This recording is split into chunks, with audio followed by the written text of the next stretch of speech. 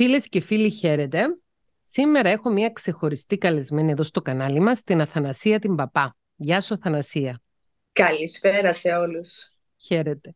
Λοιπόν, μιλούσαμε με την Ελένη την Παπαδοπούλου από την εταιρεία την Impress που μας είχε διοργανώσει και τα σεμινάρια, τα webinars που έγιναν κατά την περίοδο του κορονοϊού προχθές και τη ρωτούσα πώς πάει ο Γιώργος, γιατί ο Γιώργος, ο Δαουλάρης, ο άντρας της Ελένης, είναι υποψήφιος δήμαρχος για το Δήμο Δάφνης και Μητού. Σωστά το είπα, ναι. Σωστά, σωστά. και μου λέγει η Ελένη εκεί πέρα ότι είμαστε στην τελευταία ευθεία και πάνω στην κουβέντα μου είπε έχει μία κοπέλα η οποία μου λέει είναι συνυποψήφια με τον Γιώργο με το συνδυασμό. Πώς το λένε το συνδυασμό σας; Πολύ φωτεινή. Πολύ φωτεινή, ωραία. Είναι, είναι συνυποψήφια με τον Γιώργο και θα σου αρέσει πολύ, μου λέει αυτή η κοπέλα, μπορεί να τη ξέρεις κιόλας. Της λέω ποια είναι, μου λέει είναι Αθανασία Παπά. Και από ό,τι μου είπε η Ελένη, μου άνοιξε την όρεξη και είπα να σε φιλοξενήσω εδώ στο κανάλι για να μοιραστούμε πράγματα με σένα, να μοιραστείς εσύ μαζί μας, μάλλον, όχι να μοιραστούμε εμείς με σένα, που μπορεί να είναι χρήσιμα για όλους μας. Λοιπόν, σας διαβάζω εδώ ένα σύντομο βιογραφικό της Αθανασίας και θα συζητήσουμε περισσότερα στη συνέχεια. Τη ζήτησα να μου το στείλει. Λοιπόν, είναι πολύ ωραίο το βιογραφικό σου Αθανασία γιατί γράφεις στον πρώτο ελληνικό, μου αρέσει αυτό. Λέει γεννήθηκα στην Αθήνα το 1977. Στην ηλικία των 7 ετών διαγνώστηκα με νέα νεανική ιδιοπαθή αρθρίτιδα. Είναι ένα αυτοάνωσο νόσημα αυτό, Αθανασία μου, σωστά; Ένα από τα πολλά. Έχω ακούσει πρόσφατα για αυτό το νόσημα ότι μπορεί τα παιδιά να υποβληθούν και σε εγχειρήσεις πολύ επίπονες και εγχειρήσεις που περιμένει κάποιος ότι γίνονται σε μεγαλύτερες ηλικίες, όπως αντικατάσταση ισχύου και λοιπά. Δεν ξέρω, θα μας πεις τη δική σου την ιστορία. Θα τα πούμε όλα. Θα μας τα πεις όλα. Είναι, είναι ένα από τα φο... Όλα τα αυτοάνωσα είναι φοβιστικά, λένε ιδιαίτερα φοβιστικό αυτοάνωσο γιατί το παθαίνουν παιδιά. Λοιπόν, στην ηλικία των 7 ετών, λέει Αθανασία, διαγνώστηκα με νεανική ιδιοπαθή αρθρίτιδα. Αποφύτωσα ολοκληρώνοντας τις εγκύκλειες σπουδές μου από το ΕΠΣΙΛΟΜ Λάμδα, Πειραιά, ως τεχνολόγος μηχανικός. Στη συνέχεια σπούδασα ναυτιλιακές επιχειρήσεις και φίτησα στη Δημόσια Σχολή Εμπορικού Ναυτικού. Πολύ ενδιαφέρον.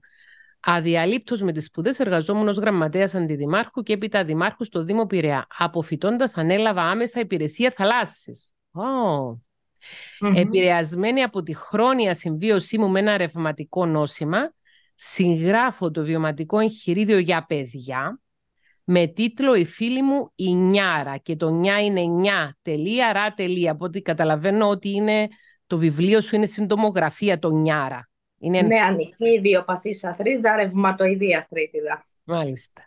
Η φίλη μου η Νιάρα, το οποίο κέρδισε στο Διεθνές Συνέδριο της Euler Pair 2022 στις Βρυξέλλες, το πρώτο βραβείο. Συγχαρητήρια, Θανασία μου, συγχαρητήρια.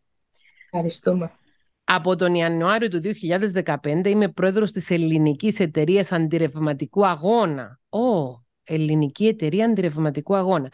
Έχοντας έντονη εθελοντική δραστηριότητα σχετικά με την ενημέρωση, την εκπαίδευση και την διεκδίκηση των δικαιωμάτων των πολιτών με ρευματικά μειοσκελετικά νοσήματα λαμβάνοντας μέρος σε πλήθος συνεδρίων και ημερίδων τόσο στην Ελλάδα όσο και στο εξωτερικό, όσο μιλήτρια με σκοπό την ευαισθητοποίηση, την εκπαίδευση και τη σωστή ενημέρωση του γενικού πληθυσμού και των επαγγελματιών υγείας για τα ρευματικά νοσήματα και τις επιπτώσεις τους. Άρα ξέρεις τι κάνεις εσύ.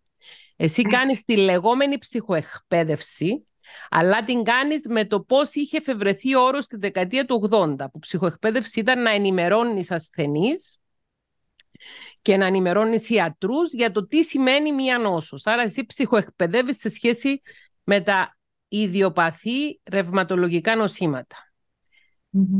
Είναι η Αθανασία εταιρετικό μέλος της ελληνικής εταιρείας εμμηνόπαυσης, αυτό μας ενδιαφέρει πάρα πολύ, ε. από το 2019, στην οποία είμαι πρόεδρος. Σε κλείνω από τώρα, μετά τις εκλογές που εύχομαι ολόκαρδα να εκλεγείς ως ε, Δημοτικής Σύμβουλος, γιατί χρειαζόμαστε το έχω πει πολλές φορές εδώ στο κανάλι. Ξέρει ο κόσμος ότι εγώ είμαι ακομμάτιστη. Είμαι πολιτικών με την έννοια ότι έχω απόψεις για τους ανθρώπους και για τη ζωή, αλλά δεν είμαι κομματικοποιημένη. Και το έχουμε πει εδώ στο κανάλι και ειδικά φέτος μετά από την ιστορία με το έγκλημα που έγινε στα Τέμπη και όλα αυτά με τις φωτιές του καλοκαίρι και με το φόνο του Αντώνη στο πλοίο, που σίγουρα εσύ πρέπει να είσαι ιδιαίτερα ευαισθητοποιημένη σε αυτό, γιατί έχεις σε αυτό τον τομέα ή εργάζεσαι ακόμη ίσως στη θάλασσα; Όχι, όχι, όχι, έχω σταματήσει πολλά χρόνια. Σταματήσεις. Ε, έχουμε πει αυτό το πράγμα ότι ψηφίστε ανθρώπους καλοήθης, ανεξαρτήτως του τι θα ψηφίσετε, ενώ ο καθένας μπορεί να ψηφίσει και ανάλογα με την κομματική του κατάταξη, δεν ξέρω εγώ τι. Αλλά από εκεί που θα ψηφίσετε, διαλέξτε καλά πλάσματα. Αυτή είναι η άποψή μου, γιατί δεν, κατά τη γνώμη μου, ως μικροκοινωνικός επιστήμονας, δεν θα πάει αυτός ο τόπος. Ή κανένας τόπος δεν πάει μπροστά, αν δεν μπαίνουν άνθρωποι με αγαθά κίνητρα σε θέσεις. Οπότε μετά που θα εκλεγείς, θα σε περιμένουμε να κάνουμε και άλλη συζήτηση για την εμμηνόπαυση, γιατί μας ενδιαφέρει ιδιαίτερω η εμμηνόπαυση. Κάποιες την αναμένουμε χωρίς να ξέρουμε τι είναι, κάποιες με φόβο, κάποιες με λαχτάρα. Θέλουμε... Έχω παρακολουθήσει και πρόσφατα ένα συνέδριο για την εμμηνόπαυση, άρα έχεις πολλά να μας πεις για την εμμηνόπαυση. Πολλά και που δεν τελειώνουν, γιατί τα θέματα της γυναίκας ποτέ δεν τελειώνουν. Μάλιστα. Λοιπόν, και από το Σεπτέμβριο του 2022 η Αθανασία εργάζεται ως Διευθύντρια Κοινωνικού Έργου στο Φιλανθρωπικό Ίδρυμα Δημητρίου και Μπλάνς Λαμπροπούλου. Μάλιστα, Θανασία μου, δεν ξέρω από πού να ξεκινήσω, τι να, τι να σε ρωτήσω πρώτα. Καταρχάς, εξήγησε μας τι είναι η Νιάρα. Το λέω Νιάρα είναι ο χαρακτήρας του παραμυθιού σου. Ε, λοιπόν, ευχαριστώ πάρα πολύ. Ε, χαιρετώ όλους τους ακροατές που μας βλέπουν και μας ακούνε. Ε, είναι μεγάλη μου χαρά και τιμή να μπορώ να μοιράζομαι είτε το βίωμα που έχω όλα αυτά τα χρόνια, είτε κάποιες γνώσεις και να ανταλλάσσουμε απόψεις και γνώσεις με άλλους ανθρώπους. Γιατί αυτό είναι η κινητήριο μας δήμα, η κοινωνικοποίηση. Η κοινωνικοποίηση μεταξύ μας δεν πρέπει ποτέ να χαθεί. Ε, δεν είναι μόνο η νιάρα, όπως τα λέγαμε, που είναι το παραμύθι, γιατί αυτό μου έδωσε την αφορμή, το γνώσιμα το δικό μου, μου έδωσε την αφορμή και να σημειώσω εδώ ότι είναι ε, σε παγκόσμιο επίπεδο το πρώτο παραμύθι που βγαίνει βιωματικό για παιδιά που νοσούν από την ία. Ε, υπάρχει κάποιος σύνδεσμος που να μου στείλεις μετά να τον ε, βάλω στην περιγραφή του βίντεο για το πώς μπορεί να προμηθευτεί κάποιος το παραμύθι για τα παιδιά. Ναι, ναι, είναι σε βιβλιοπωλείο. Α, ε, να, μου στείλεις το, να μου στείλεις πληροφορίες μετά να το βάλω στην περιγραφή του βίντεο γιατί το, ο κόσμος εδώ στο κανάλι είναι ιδιαίτερα ευαισθητοποιημένος σε σχέση με εναλλακτικά παραμύθια και ψυχοεκπαιδευτικά παραμύθια που μπορεί να είναι πολύ χρήσιμα για τα παιδιά. Ε, αυτό που ήθελα να τονίσω μέσα από αυτό το παραμύθι είναι ότι εγώ νόσησα πριν 40 χρόνια. Θα ήθελα να σκεφτείτε λίγο, να σκεφτούν όλοι όσοι μας βλέπουν και μας ακούνε, τι ίσχυε πριν 40 χρόνια και ποιες ήταν οι αντιλήψεις μας και αν είχαμε θεραπείες. Ε, για όσους δεν γνωρίζουν λοιπόν, θα πω ότι δεν είχαμε καμία θεραπεία, ε, δεν είχαμε καμία γνώση, καμία ενημέρωση και δεν είχαμε και γιατρούς κατάλληλους. Είτε θα πηγαίναμε στον ορθοπαιδικό, είτε στον παθολόγο, θα χάναμε πάρα πολύ χρόνο και τότε εμείς ως παιδιά νοσηλευόμασταν για πάρα πολύ μεγάλο διάστημα ε, χάναμε την τάξη μας, οι ψυχολογικές επιπτώσεις ήταν πάρα πολλές, όχι μόνο σε εμάς ως παιδιά, αλλά και στην ίδια την οικογένεια όπως αντιλαμβανόμαστε. Δηλαδή αν είχαμε και αδέρφια, οι γονείς, θυμάμαι τους δικούς μου τους γονείς ότι όλη την ώρα τσακώνονταν. Ότι φταίω εγώ, φταίς εσύ. Δεν έκανα αυτό, Ενώ δεν φταίει κανείς εντωμεταξύ. Δηλαδή το, το, θέμα με τα αυτοάνωσα νοσήματα ή με τα γενετικά νοσήματα είναι ότι shit happens. Δεν φταίει κανένας. Άσχημα πράγματα συμβαίνουν. Life happens, shit happens. Έτσι. Και σε, χρονιά, σε χρονιές μάλλον, σε περιόδους, η οποία το να ζητήσεις ψυχολογική υποστήριξη ήταν ταμπού. Βέβαια. Δηλαδή, αν, αν είναι ακόμα και τώρα, φανταστείτε τι γινόταν πριν 40 χρόνια, έτσι. Αθανασία μου, θέλεις να μας πεις λίγο, να μας περιγράψεις λίγο τι σημαίνει ιδιοπαθής ε, ρευματοειδής αρθρίτιδα; Λοιπόν, καταρχήν να ξεκινήσουμε ότι τα ρευματικά νοσήματα δεν αφορούν μόνο με τρίτη ηλικία ή ε, τους ενήλικες. Ε, υπάρχουν πάρα πολλά αυτοάνωσα νοσήματα που αφορούν και παιδιά. Ένα από αυτά είναι και η νη, ενενειακή ιδιοπαθής αθρίτιδα, η οποία το παιδί μπορεί να νοσεί και να έχει διόγκωση, να έχει δισκαμψία, να έχει πόνο σε δύο αρθρώσεις, τρεις ή τέσσερις, συνήθως στα γονατάκια του, στις, στις παλάμες εδώ, στους αγκώνες, στα δάχτυλά του και να δυσκολεύεται. Ε, αυτά τα παιδιά δυσκολεύονται γιατί, γιατί δεν έχουμε την κατάλληλη εκπαίδευση και οι εκπαιδευτικοί ακόμα δεν έχουν την κατάλληλη εκπαίδευση για να ε, σταθούν δίπλα σε αυτά τα παιδιά και αυτό είναι που προσπαθούμε να σπάσουμε. Δηλαδή υπάρχει φλεγμονή στις αρθρώσεις η οποία προκαλεί ναι. πόνο, προκαλεί δυσκίνηση. Διόγκωση. Διόγκώνονται οι αρθρώσεις. Δηλαδή, ναι. Και το παιδί πονάει. Και αυτό συμβαίνει ξαφνικά. Δηλαδή, εκεί που είσαι ένα παιδάκι που μεγαλώνεις όπως όλα τα άλλα, ξαφνικά αρχίζεις και πονάς τις αρθρώσεις σου. Κάποιες συγκεκριμένες mm-hmm. αρθρώσεις. Ακριβώς. Για να το κάνουμε πιο συγκεκριμένο, εσύ τι πονούσες, τι πόνεσαι πρώτα. Εμένα ένιωσα ξαφνικά, σηκώθηκα ένα πρωί, από εκεί που ήμουνα την προηγούμενη μέρα μια χαρά και ξαφνικά ένα πρωί σηκώθηκα και το ένα μου γόνατο ήταν κόκκινο, ερυθρό, διογκωμένο και να φλέγεται. το οποίο ε, δεν μπορούσα να κουνηθώ. Και με πήρανε, με πήγανε στα νοσοκομεία τότε και στον Πέδον και στο Κλαγία, στις Αθήνας που έχουμε ναι, τα ναι, ναι, ναι, νοσοκομεία. Οι γιατροί δεν μπορούσαν να βρούνε τι γίνεται, δεν γνωρίζανε. Έκανα συνεχείς εξετάσεις μέχρι να βρεθεί κάποιο αποτέλεσμα. Αλλά εδώ είναι το μεγάλο πρόβλημα ότι υπάρχουν περιπτώσεις οι οποίες όπως τις ονομάζουμε εμείς είμαστε οροαρνητικοί. Δηλαδή οι εξετάσεις μας μπορεί να είναι μια χαρά, αλλά η κλινική μας εικόνα να μην είναι αυτή που πρέπει. Να σε ρωτήσω κάτι.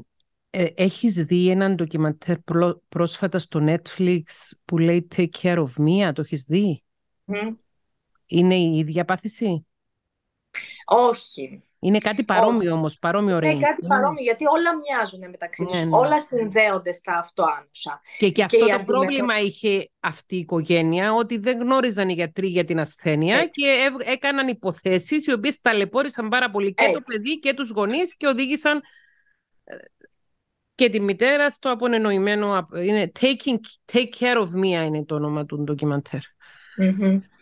Ε, ναι, είναι όλα το ίδιο. Είναι όλα στο ίδιο σκεπτικό. Ε, υπάρχουν πάρα πολλές τέτοιες παθήσεις και ασθένειες. Το ξέρω, Αθανασία μου, να σου πω ότι εμείς, ε, έχω, αδερφό, έχω έναν αδερφό μόνο, ο οποίος είναι ορθοπαιδικός χειρουργός και είναι εξαιρετικός στις διαγνώσεις.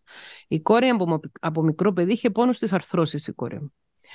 Ε, την έβαλε σε όλες τις εξετάσεις που μπορούσε να βάλει κάποιος και έλεγε δεν έχει τίποτα, δεν έχει τίποτα. Αλλά ήταν ξεκάθαρο ότι το παιδί μετά που πήγαινε χορό, μετά που πήγαινε γυμναστική, μετά που πήγαινε στον παλέτο, πονούσε πάρα πολύ.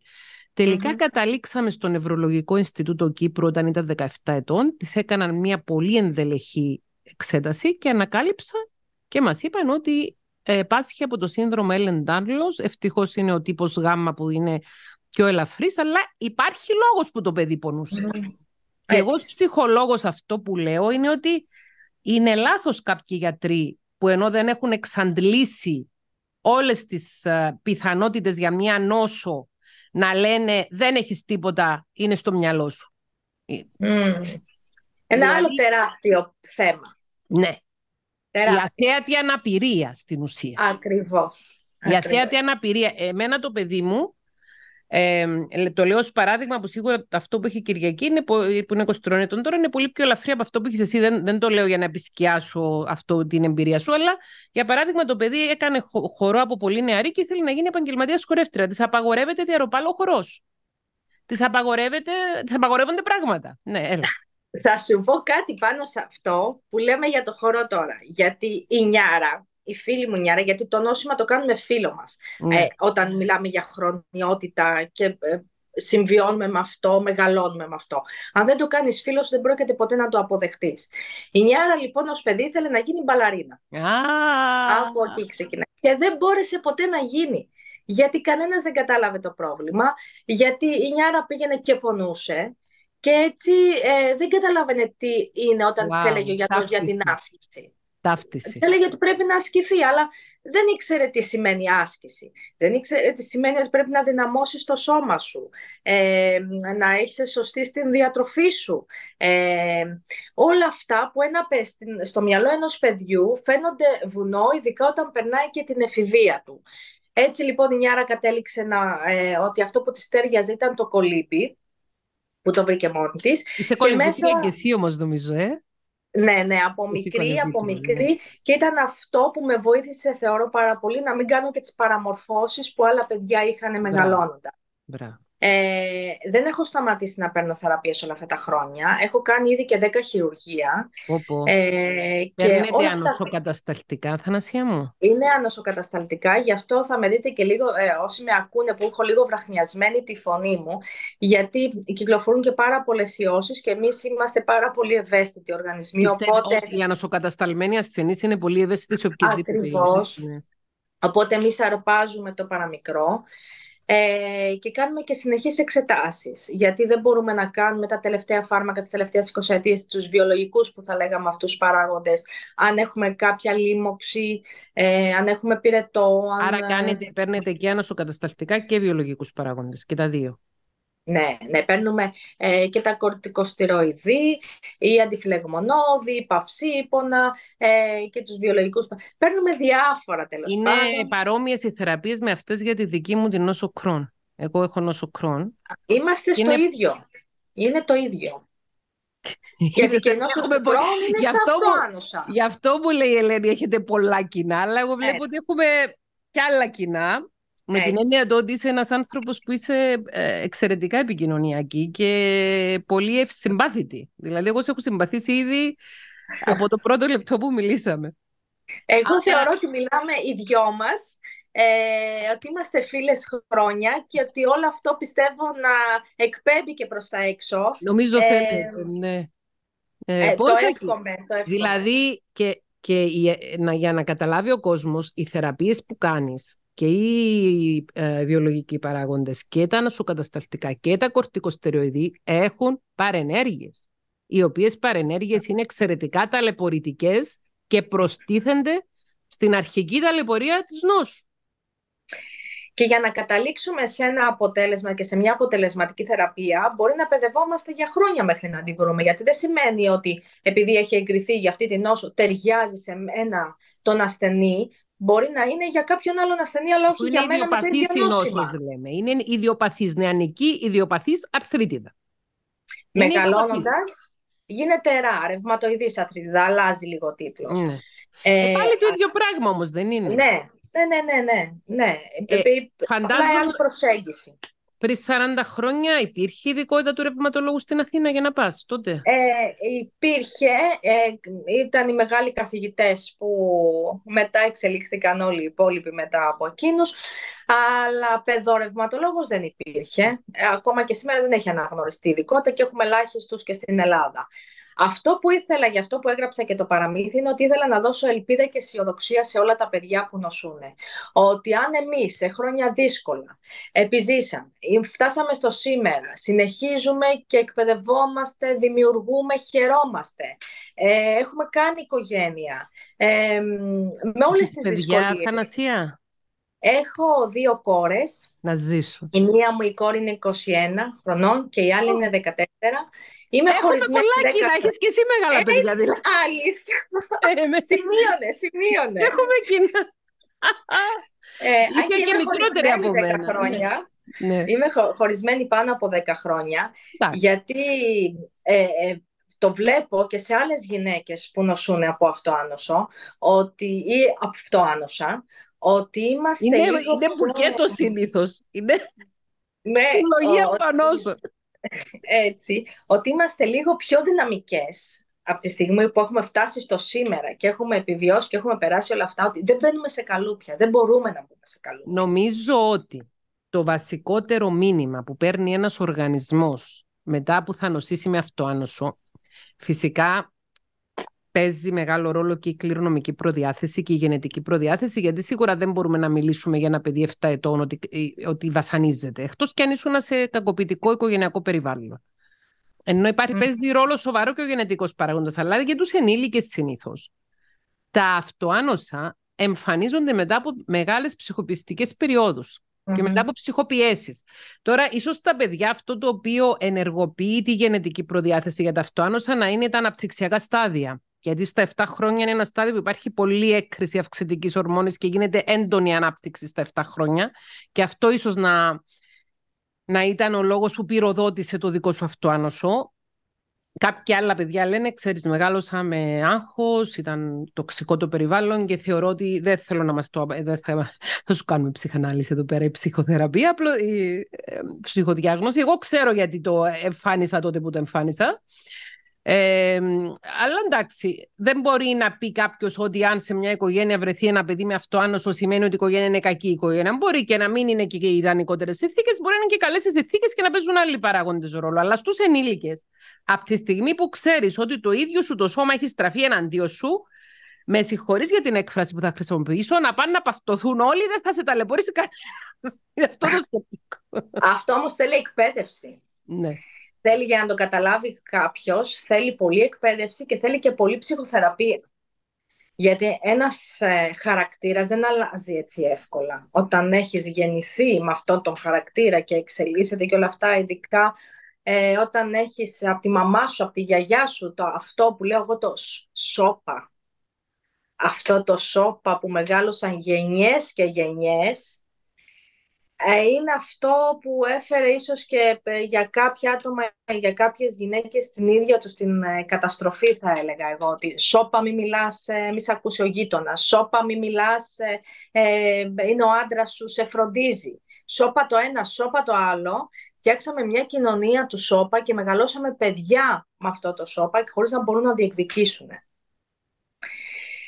Και αυτός να περάσουμε το λένε στην Κύπρο. Ούσου λέγεται στα κυπριακά το ε. σώπα. Ούσου να περάσουμε το οποίο είναι πολύ βλαβερό. Πολύ ναι, ναι. Για όλους και για την ίδια την κοινωνία είναι. Ναι, βεβαίως. βεβαίως. Και αυτό πρέπει να αλλάξει. Πρέπει να αλλάξει. Και πρέπει να αλλάξει μέσα από πάρα πολλά πράγματα. Δηλαδή και αυτό που κάνουμε τώρα, ο διάλογος που έχουμε, η επικοινωνία που έχουμε, είναι να αντιλαμβάνεται κάποιος κάποια πράγματα και να τον ενθαρρύνουμε να αλλάξει. Έστω. Και ξέρεις κάτι, αυτό το βλέπω στην επαρχία. Και συγγνώμη που αυτό το βλέπω στην επαρχία. Όταν πηγαίνω για κάνω, να κάνω αγωγή υγείας για την πρόληψη, για την έγκαιρη διάγνωση και όλα αυτά, ε, όσο πιο κλειστή είναι η κοινωνία, τόσο πιο δύσκολα μοιράζονται το πρόβλημα. Οπότε όταν τους λες να ανοιχτούν και να αρχίζουν να μιλάνε, κανένας δεν μιλάει. Οπότε βγαίνω μπροστά εγώ κάθε φορά και λέω ε, να σας πω δύο πράγματα για μένα. Εγώ νοσώ ε, νοσώ από αυτό και έχω κάνει αυτό και αυτό και αυτό, η αντιμετώπιση ήταν αυτή και καλό είναι να επικοινωνούμε. Και τότε τους βλέπει σιγά σιγά ότι σηκώνει μία-μία το χεράκι της, ε, να μοιραστούν το πρόβλημα. Και μπορεί να έχεις άνθρωπο δίπλα σου για χρόνια και να μην ξέρεις τι έχει. Και να θέλει βοήθεια και στήριξη και εσύ να μην την έχεις δώσει ποτέ. Υπάρχει αυτό το ταμπού ότι αν μιλήσω ανοιχτά και πω ότι έχω ένα νόσημα, αυτοάνωσο ημί, ένα χρόνιο νόσημα, ότι θα αποκτήσει ο κόσμος κακή εικόνα για μένα, δεν θα βρεθεί κανένας να με παντρευτεί. Αυτό έπαιζε πολύ ρόλο στις παλιές κοινωνίες. Ή να μην πεις ότι έχεις μια, ένα σύνδρομο ή πάσχεις από ένα νόσημα, γιατί μετά τα παιδιά σου δεν θα τα παντρεύονται, γιατί μετά όλες αυτές οι... Ότι είναι εντελώς ανόητες... Ναι, εντελώς ανόητες απόψεις και ναι. Ε, αυτό που λες έχει μεγάλη σημασία γιατί αν εγώ δεν μιλήσω να ανοίξω το στόμα μου να πω τι με ταλαιπωρεί, δεν θα πάρω και καμία απόκριση. Καμία συμπαράσταση και καμία συμπόνια, ε, μοίρασμα. Δηλαδή όταν ακούς ότι πω πω και αυτή η κοπέλα έχει κάτι όπως αυτό που έχω εγώ ή όπως αυτό που έχει η αδερφή μου ή όπως αυτό που ε, ξέρω ότι υπάρχει ή όπως, συνήθως όπως αυτό που έχω εγώ. Νιώθεις μια ταύτιση που σε κάνει να, να νιώθεις πιο καλά. Ότι είναι εντάξει. Δεν είμαι μόνος μου σε αυτό. Έτσι. Ή ότι θα μιλήσεις σε έναν άνθρωπο επιτέλους ε, που θα σε καταλάβει. Αυτό είναι ένα τεράστιο πρόβλημα που έχουμε. Γιατί και ε, το έχουμε αντιμετωπίσει πάρα πολλές φορές, ότι όσοι νοσούμε και να πάμε να μιλήσουμε κάπου, λένε ότι αχ, έλα μωρέ τώρα και τι έχεις και τι έγινε. Ε, ειδικά αυτός στις αόρατες ασθένειες. Γιατί και μένα με δει κάποιος, ε, δεν φαίνεται απολύτως τίποτα. Τίποτα δεν φαίνεται, όχι. Και όπως είπες, λόγω και του, της κολύμβησης ε, κατάφερες να μην έχεις παραμορφώσεις της αρθρωσης Οπότε είναι αόρατη η αναπηρία σου, δεν είναι ορατή. Ναι, είναι αόρατη. Όμως εγώ εγώ νιώθω το τι κουράγιο χρειάζεται για να περπατήσω, να πάω στη δουλειά μου το πρωί, να σηκωθώ, να φροντίσω τα παιδιά μου, να μαγειρέψω, να είμαι εντάξει σε όλες μου τις υποχρεώσεις, να μπορώ να προσφέρω και να συνεισφέρω, γιατί αυτό το έχω τεράστια ανάγκη. Θεωρώ ότι ο άνθρωπος, ε, το μεγάλο πράγμα που πρέπει να κάνει ζωή του, αυτό που πρέπει να κάνει ζωή του είναι η προσφορά, το να προσφέρεις όπου και όπως μπορείς. Αλλιώς, γιατί λεγόμαστε άνθρωποι; Είναι, είναι πράγματα, δηλαδή όπως σου ζητηθεί η βοήθεια και μπορείς να το κάνεις, κάντο. Κάντο και ας μην το ξέρει κανένας. Δεν χρειάζεται βαρύγδουπες ε, προβολές ή λόγια ή οτιδήποτε. Ε, θεωρώ ότι μόνο έτσι μπορεί να αγκαλιάσει η ψυχή μου και να κοιμηθώ στο κρεβάτι και ό,τι και αν έχει γίνει, να είμαι ήρεμη πλέον. Αλλιώς, ε, ο καθένας κάνει ό,τι, ό,τι έχει ανάγκη. Αθανασία μου ανέφερες προηγουμένως τη σημασία της ψυχοθεραπείας. Εσύ έχεις κάνει ψυχοθεραπεία, μιλάς γι' αυτό; Πάρα πολλά χρόνια. Πάρα πολλά χρόνια. Και όχι μόνο με ψυχολόγο, αλλά και με ψυχίατρο, για να σπάσουμε και λίγο το ταμπού. Γιατί ε, ειδικά θα πω αυτό, ότι στα αυτοάνωσα νοσήματα, όταν είμαστε σε περίοδο τεκνοποίησης, ε, μπορεί εκείνη την περίοδο το νόσημά μας να, είναι, να έχει ηρεμήσει. Μετά όμως, όταν ε, γεννήσουμε, ε, το νόσημα σε πολλές περιπτώσεις έρχεται πολύ πιο επιθετικό. Εννοείς κατά τη διάρκεια της εγκυμοσύνης. Της είσαι μια χαρά. Ναι, ο λόγος που ναι. υποχωρεί είναι γιατί ο οργανισμός μπαίνει από μόνος του σε ανοσοκαταστολή προκειμένου να μην απορρίψει η μητέρα το έμβριο. Δεν είναι αυτός ο λόγος; Είναι και άλλα πολλά έτσι πιο ιατρικά, αλλά η φύση είναι τέτοια που βοηθάει, θα λέγαμε, τη μάνα εκείνη την περίοδο να φέρει σε πέρα σε αυτό το μεγάλο έργο που έχει ε, για να φέρει αυτό το, το παιδί. Ε, οπότε μετά όμως θα πρέπει να έχει την κατάλληλη στήριξη και βοήθεια, να μπει στην κατάλληλη θεραπεία, ώστε να μην γίνει αυτή η έκρηξη του οργανισμού, θα λέγαμε. Εγώ τότε... Έτσι, μεγάλη έξαρση. Εγώ τότε δεν είχα αυτή την υποστήριξη, γιατί ένα άλλο τεράστιο πρόβλημα είναι ότι οι γιατροί, οι άλλες ειδικότητες δεν επικοινωνούν μεταξύ τους, δεν ανταλλάσσουν πληροφορίες. Και όταν έλεγα εγώ στο ρευματολόγο, επικοινώνησε με τον γυναικολόγο, και στο γυναικολόγο με τον ρευματολόγο, κανένας δεν δεχόταν να επικοινωνήσει με κανέναν. Αυτό ξαναπέστο. Ένα τεράστιο πρόβλημα είναι να μην επικοινωνούν οι γιατροί μεταξύ τους ή να μην επικοινωνούν οι ψυχολόγοι με τους ψυχίατρους και οι διάφοροι ειδικοί σε έναν τομέα μεταξύ τους. Είναι πολύ σημαντικό σημαντικό. Γιατί είναι ο ασθενής που βλάπτεται στο τέλος της ημέρας και mm. κανένας άλλος. Έτσι. Οπότε κατέληξα να είμαι εγώ σε έξι μήνες κατάκητη, κατάκητη, να έχουν αγκυλώσει όλες μου οι αρθρώσεις, χέρια, πόδια, μέση, αφιένα, τα πάντα, να έχω μία μητέρα η οποία να μου φέρνει το μωρό στην αγκαλιά για να το νιώσω, ε, να θέλω να θυλάσω και έτσι ε, με αυτόν τον τρόπο εξάντλησα τελείως τον εαυτό μου γιατί το θεώρησα θείο δώρο αν μπορούσα να θυλάσω έστω και ένα-δύο μήνες αλλά στην προκειμένη περίπτωση δεν έπρεπε να το κάνω αλλά μην έχοντας την κατάλληλη γνώση, την κατάλληλη εκπαίδευση και την ενημέρωση συνέχισα να το κάνω γιατί έτσι ένιωθα ότι πρόσφερα στο παιδί μου.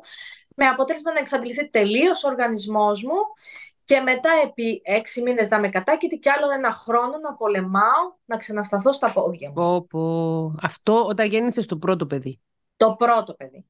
Το, γι' αυτό και άργησα για το δεύτερο παιδί. Αυτό θα σε ρωτούσα, ότι ναι. φαντάζομαι μέχρι το δεύτερο το ψάξες πολύ και ήσουν προετοιμασμένη. Ναι. Έτσι. Γιατί ε, εδώ έρχεται, συγγνώμη που σε διακοπτώ, ο ρόλος του ενεργούς ασθενούς. Όσο περισσότερο γνωρίζεις για την ασθένεια που έχεις, τόσο πιο ενεργός θα είσαι στο να βοηθήσεις ακόμη και τους γιατρούς να κάνουν σωστά τη δουλειά τους. Μα οι γιατροί από εμάς μαθαίνουν. Το by the book, το by the book είναι ένας μπούσουλας. Ο κάθε ασθενής, ο κάθε άνθρωπος είναι διαφορετικός. Δεν σημαίνει ότι τα βιβλία όλα μετά που τα ανοίγουν έχουν για τον κάθε ασθενή, για τον κάθε χαρακτήρα, για τον κάθε οργανισμό μία θεραπεία, έναν μπούσουλα. Όχι. Είναι τα guidelines που λέμε. Από εκεί και πέρα είναι εξατομικεύονται για τον κάθε ασθενή. Και ο γιατρός θα πρέπει να κάτσει εκεί να ακούσει τον κάθε ασθενή, τον κάθε άνθρωπο. Αλλά δεν το κάνει. Και εκεί είναι το μεγάλο μας παράπονο. Αλλιώ ότι οι γιατροί δεν διαθέτουν αυτόν τον πολύτιμο χρόνο να ακούσουν και να ψάξουν καλά το περιστατικό, να δουν κάθε πτυχή αυτού του ασθενή. Γιατί ένας ασθενής με αυτοάνωσο νόσημα ε, θέλει μια καθολική προσέγγιση. Δεν θέλει από έναν γιατρό. Μπορεί να θέλει και 4-5 ειδικότητες. λοιπόν, αυτές οι ειδικότητες θα πρέπει να κάτσουν να κάνουν συσκέψεις επισκέψεων και να βρουν το κατάλληλο, την κατάλληλη θεραπεία, το κατάλληλο αποτέλεσμα, την κατάλληλη πορεία για αυτόν τον ασθενή, για να έρθει η αποκατάσταση, θα λέγαμε. Πράγμα που δεν γίνεται και το βλέπουμε στο εξωτερικό να γίνεται, γιατί εκεί λειτουργεί καλύτερα και ο γενικός γιατρός, που είναι ο ενορχιστρωτής των άλλων ειδικοτήτων, έτσι. Και εδώ πέρα βλέπουμε ασθενείς με μία τσάντα να πηγαίνουν από γιατρό σε γιατρό και να μεταφέρουν μια πληροφορία που μπορεί να τη μεταφέρω λάθος, γιατί ε, η εκπαίδευση και το επίπεδο του κάθε ασθενή, εκείνος το ξέρει. Εγώ δεν είμαι υποχρεωμένη να ξέρω ιατρικούς όρους και να τους μεταφέρω. Να μεταφέρω τι μου λέει ο κάθε γιατρός και να το μεταφέρω σωστά. Είναι και τι αντιλαμβάνομαι εκείνη την ώρα βάσει του άγχους μου που έχω, γιατί να μην το ξεχνάμε, όταν ε, μόνο με βαρύγδουπες λέξεις όταν έρχεσαι και μου λες έχεις ένα χρόνιο νόσημα, εγώ κλειδώνω εκείνη την ώρα. Δεν μπορώ να σκεφτώ κάτι άλλο. Ό,τι και να μου πεις, εγώ θα πρέπει να διαχειριστώ εκείνη την ώρα τη λέξη χρονιότητα. Και μετά όταν μου λες πρέπει να πάρεις τη μεθοτρεξάτη, που μιλάμε για ένα ήπιο χημειοθεραπευτικό. Όψ, η δεύτερη λέξη. Πες το ότι είναι χημειοθεραπεία, γιατί δεν το λένε. Σου λέει, το, λέει το, όνομα, σου λέει το όνομα ο ρευματολόγος ή ο, ο παθολόγος ιατρός της ίσως και μιας παθολογικής ειδικότητας, αλλά δεν σου λέει, ξέρεις, αυτό είναι η χημεθεραπεία. Μα είναι, είναι η με χημεθεραπεία δε.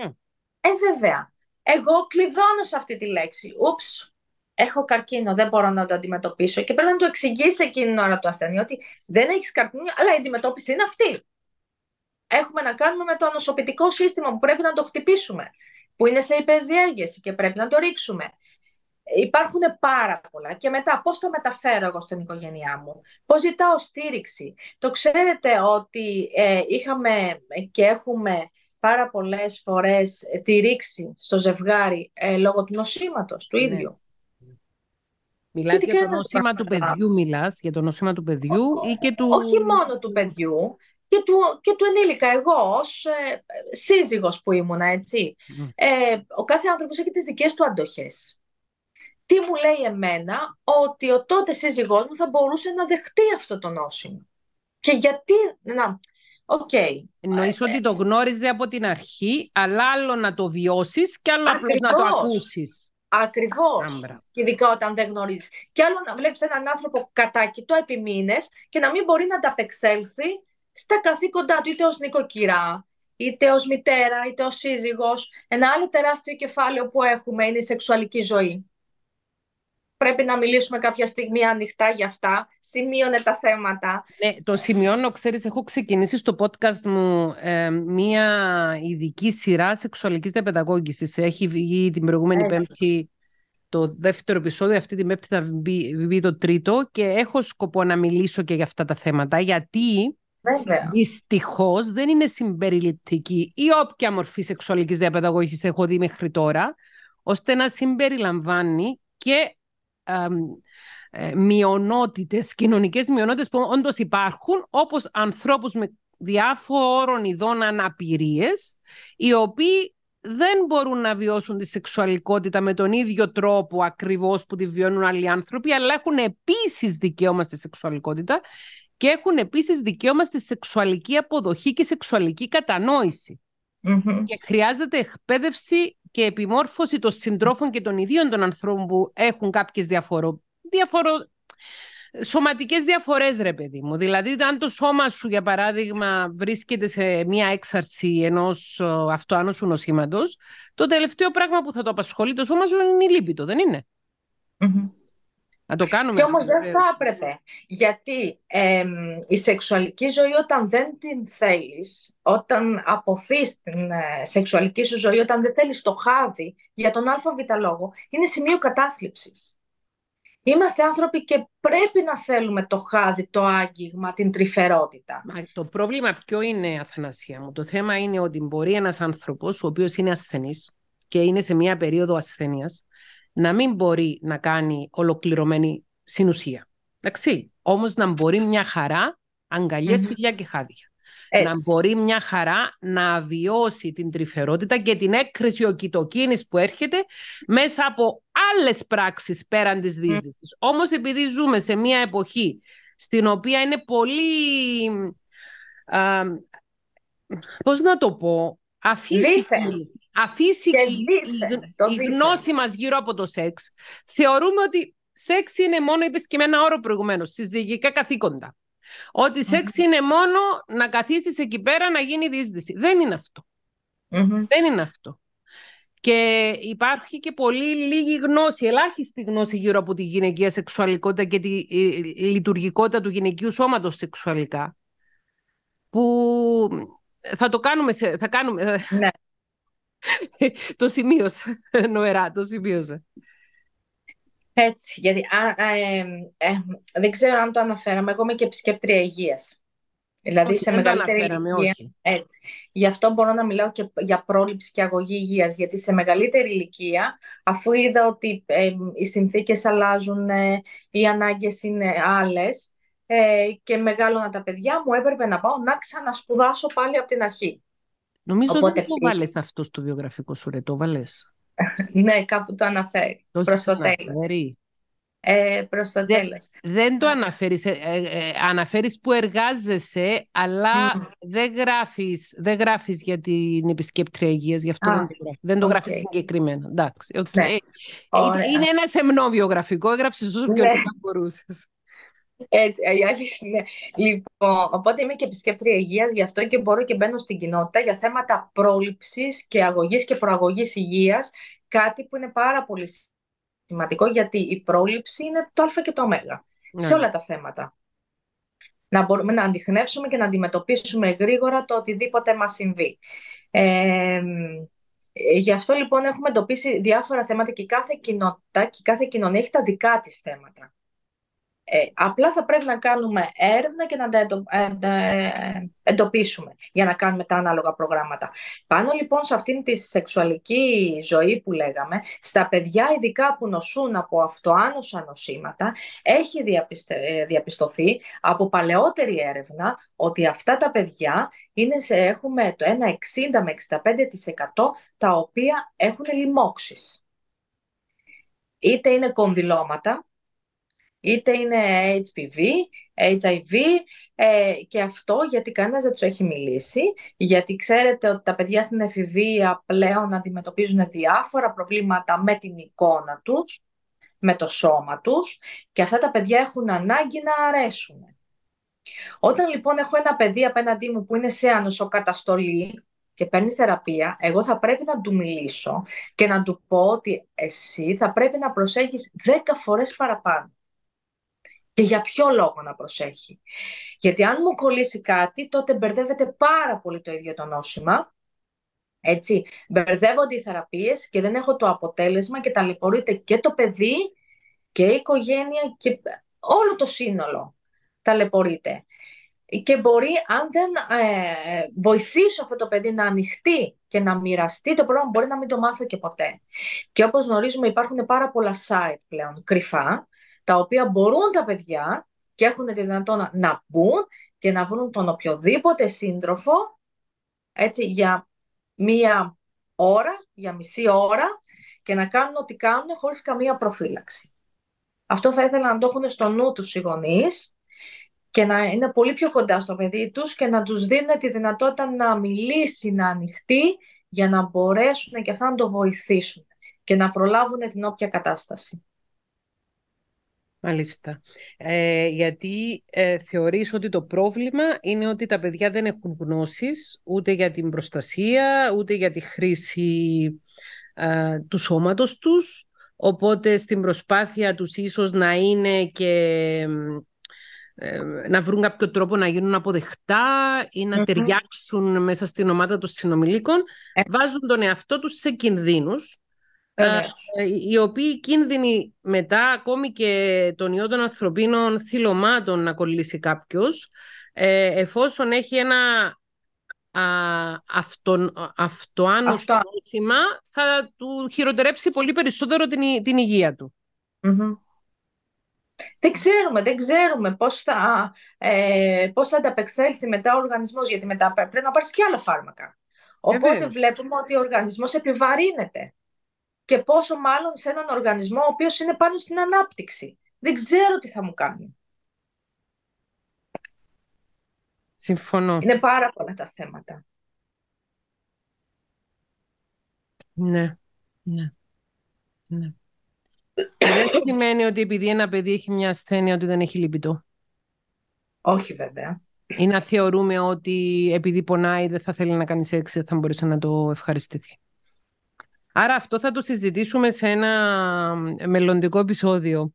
Σεξουαλική διαπαιδαγώγηση για παιδιά τα οποία έχουν και άλλα ζητήματα υγείας να, να διαχειριστούν. Να διαχειριστούν. Και πώς θα αντιμετωπίζουμε αυτά τα παιδιά και εμείς ως οικογένεια και ως κοινωνικό σύνολο και η κοινότητα αλλά και η ιατρική κοινότητα που βλέπουμε ότι δεν μοιράζεται το πρόβλημα και δεν ανοίγεται. Ναι. Ναι, σωστά. Μάλιστα. Ε, θέλω να σε ρωτήσω λίγο για την οργάνωση στην οποία είσαι πρόεδρος. να δω το όνομα της ακριβώς. Σε ποια από τις Ελληνική Εταιρεία Αντιρευματικού Είναι, ήταν ε, το 2007, το οποίο είχα φτάσει να παίρνω 20 χάπια την ημέρα. Και έλεγα, δεν μπορεί να είμαι μόνο εγώ και κάποιος άλλος υπάρχει. Θέλω να μοιραστώ επιτέλους το πρόβλημά μου. Θέλω να ακούσω και άλλους ανθρώπους.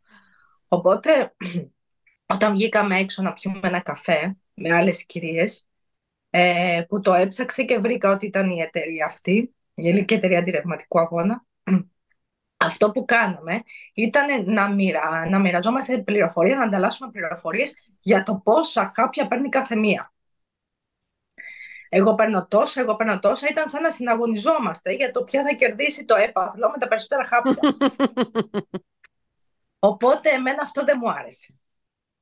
Έλεγα δεν μπορεί να συμβαίνει. Κάτι άλλο πρέπει να γίνει, το οποίο πρέπει να σπάσει αυτό το πράγμα. Για συγγνώμη. Όχι, δεν. Κάποιο λίγο νεράκι. Να πιεις νερό, βεβαίως. Έλα να κάνουμε ένα μικρό διάλειμμα για πέντε λεπτά.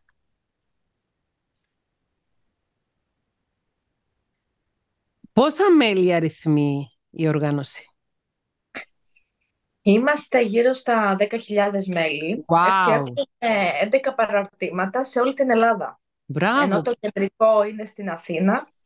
Από το 2014 που το ανέλαβα, ε, μαζί με το Διοικητικό Συμβούλιο, που είμαστε μια πολύ δεμένη ομάδα και αγαπημένη, ε, είμαστε όλοι ασθενείς, έτσι. Με τα πάνω μας, με τα κάτω μας, με τις φωνές μας, αν θέλουμε ξεσπάμε μεταξύ μας για να μην ξεσπάσουμε σε όλους τους υπόλοιπους.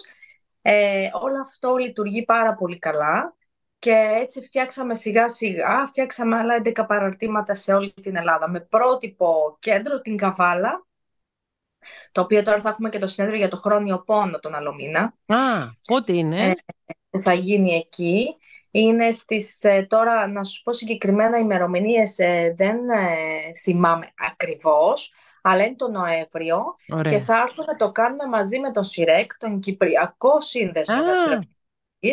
ε, που συνεργαζόμαστε κάθε χρόνο με το θέμα του χρόνου πόνου και θα έρθουν και οι Κύπροι φίλοι μας και αγαπημένοι από την Μπράβο. Κύπρο. Και μου είπες πριν να αρχίσουμε να βιντεοσκοπούμε ότι ήσουν και στην Κύπρο πρόσφατα και παρουσίασες το παραμύθι. Ναι, ναι, ναι, με κάλεσε ο σύνδεσμος της Κύπρου και η Μητρόπολη Ταμασού και παρουσιάσαμε εκεί πέρα το παραμύθι. Ε, ήταν μια καταπληκτική εκδήλωση, με εντυπωσίασε και ο χώρος και οι άνθρωποι φυσικά. Είναι κοντά, ε, είναι κοντά στο χωριό που μένω ο χώρος αυτός. Είναι περίπου 20 λεπτά. Εγώ μένω στα βουνά. Είναι περίπου 20 λεπτά από εδώ. Λοιπόν, επειδή ξέρω ότι έχεις πολύ πιεσμένο πρόγραμμα, είσαι μία εβδομάδα πριν από τις δημοτικές εκλογές, θέλω να σε ρωτήσω κλείνοντας Αθανασία μου και εννοείται ότι κρατάμε το ραντεβού μας για να ξαναμιλήσουμε για την γυναική αμυνόπαυση και να μιλήσουμε για τη σεξουαλική διαπαιδαγώγηση την πιο εξειδικευμένη όπως την αναλύσαμε προηγουμένως. Θέλω να σε ρωτήσω πώς και αποφάσισες να ασχοληθείς με τα κοινά; Ε, με τα κοινά ασχολούμαι πάρα πολλά χρόνια, απλά ήθελα τώρα να το δω από μια άλλη οπτική γωνία και μέχρι ε, τώρα, δηλαδή μέχρι πριν γνωρίσω τον Γιώργο το Δαουλάρη, δεν είχα βρει κάποιον άνθρωπο ο οποίος να μπορεί να με εμπνεύσει να μπορώ να μοιραστώ την αγωνία μου, τις ανησυχίες μου και να του πω όλα αυτά τα προβλήματα και λύσεις που εγώ θεωρώ ας πούμε, που θα κάνανε καλό στην κοινότητα και να βρίσκω ανταπόκριση. Δηλαδή όπου και να απευθυνόμουν λέγανε ναι, ναι, ναι, ναι, ναι, ναι, ναι, ναι ε, και τίποτα δεν γινότανε. Οπότε μόλις ε, γνώρισα τον ε, Γιώργο τον Δαουλάρη σε ένα φιλικό τραπέζι, αμέσως, ε, δηλαδή αυτό που λέμε εντός εγώ, εγκλωβίζεσαι. Είναι καλοήθης άνθρωπος ο Γιώργος, είναι πολύ καλός Βέβαια. άνθρωπος, έχει πολύ καλοσύνη μέσα του και Είναι μια καταπληκτική ψυχή. Ναι. Έτσι, μια καταπληκτική ψυχή, ανοιχτός σε ό,τι του πεις, ε, δοτικός, ε, με ευγένεια, δηλαδή ό,τι και να πούμε είναι λίγο. Συμμετείχε και στα σεμινάρια μας, στα webinars μας ο Γιώργος. Ναι. το ξέρουν αρκετοί από το κανάλι, έμπαινε και στα σεμινάρια. Έτσι, οπότε μόλις τον πλησιάζω, του λέω: Κοίταξε να δεις, εγώ θέλω πρόληψη, αγωγή υγείας, θέλω την κοινότητα, τι προβλήματα. Άρα, δέχθηκε ο Γιώργος τα δικά σου τα αιτήματα σε σχέση με την πιο ευαισθητοποιημένη οπτική και βούληση που έχεις εσύ μέσα από τη γνώση των, την εξειδικευμένη που μας έχεις... Ναι, ως επισκέπτρια υγείας, αλλά ε, και στα θέματα με Και ως εθελόντρια σε θέματα ασθενειών, αυτοάνωσων ασθενειών, ακτιβισμού κτλ. Έτσι, έτσι. Οπότε ήταν καρμικό, δεν γινόταν να, να πω όχι στο κάλεσμα του Γιώργου και είναι μεγάλη μου τιμή, μεγάλη μου τιμή γιατί είναι θα λέγαμε ένα ψηφοδέλτιο κόσμημα, έτσι θα το πω εγώ, γιατί όλοι οι άνθρωποι, ο καθένας από το δικό του μετερίζει με τις δικές του γνώσεις και εμπειρίες, έχουν πάρα πολλά να δώσουν. Ε, είναι μάχημοι και στην κοινότητα και στα κοινά. Οπότε θεωρώ ότι αυτή τη φορά η νίκη θα είναι του Γιώργου. Και το... το εύχομαι και για τον Γιώργο που είναι φίλος μου, αλλά και για σένα που θα ήθελα να δω μια ακτιβίστρια σε ένα Δήμο τι αλλαγές κάνει; Τι επίδραση θετική έχει; Αθανασία μου χάρηκα πάρα πολύ για την γνωριμία. Θα τα ξαναπούμε. Πολύ καλή επιτυχία για την ερχόμενη Κυριακή. Εύχομαι και σε σένα και στο Γιώργο τον Δαουλάρη και σε όλους όσοι συμμετέχουν σε αυτή την εκλογική διαδικασία. Θεωρώ ότι οι δημοτικές εκλογές είναι εκλογές τις οποίες μπορούμε να ψηφίσουμε πολύ πιο ε, ανεξάρτητα και με βάση τον ανθρωπισμό των υποψηφίων γενικότερα, γιατί σίγουρα αυτό το βίντεο το βλέπουν και άνθρωποι που δεν ψηφίζουν στο Δήμο Δάφνης και... Και με μπορούν να πάρουν όμως ιδέες. Ναι, γιατί όχι, βεβαίως. ευχαριστώ πολύ. Να είσαι καλά, φιλιά. Ευχαριστώ πάρα πολύ. Σας ευχαριστώ. Γεια, γεια, γεια.